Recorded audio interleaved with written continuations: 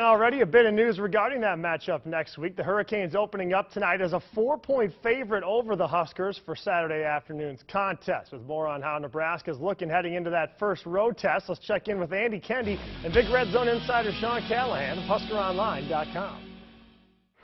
All right, first down, we'll go with Terrell Newby. What a night for him. Career highs, 198 yards on the ground and three total touchdowns. Yeah, so that whole committee thing kind of worked out for about a week, and Mike Riley just said, yep, we're going to go back to kind of what I want to do, and he's always been kind of a one running back guy, especially if he has that guy, but the depth is good here, and he respects that, uh, but it was important, I think, Andy, that Nebraska established kind of a, a number one as they go out to Miami.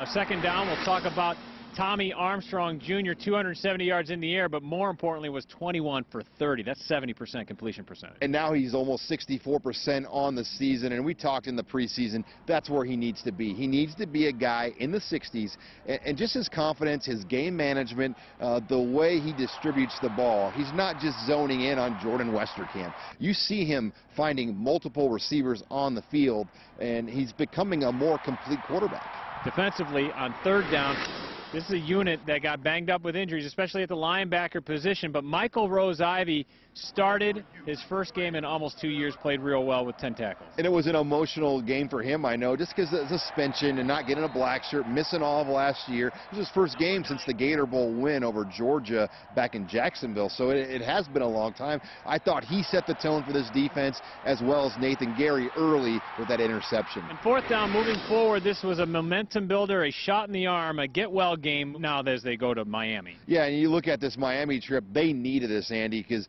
you didn't want to go out to Miami with questions on this offense or defense. We know Brad Kaaya and what he can do because he did it in this stadium and, and, gave Nebraska a lot of problems last year. Now, Miami has not been great either. They've had some issues uh, with their offense at times um, this year, uh, even on Friday night against Florida Atlantic. So this is kind of one of those toss-up games, and I think for Nebraska now, with their offense playing well, uh, it's a really good uh, sign as they go out to Miami. It is going to be fun. Nebraska at Miami next Saturday at 2.30.